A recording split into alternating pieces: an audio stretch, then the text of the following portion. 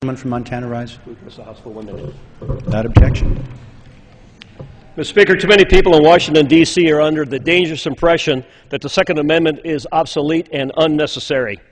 If they had their way, only criminals and agents of the state would be armed, while law abiding Americans would be at their mercy.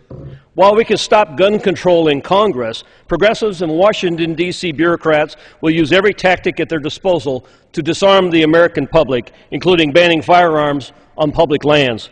That's why I've sponsored the Firearms Freedom on Federal Lands Act with Representatives Rob Bishop and Paul Broun.